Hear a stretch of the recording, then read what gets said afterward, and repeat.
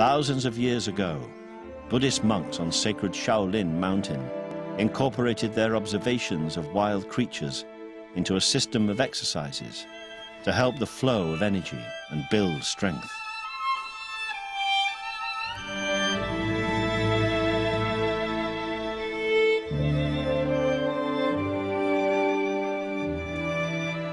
This animal-inspired art form became Kung Fu.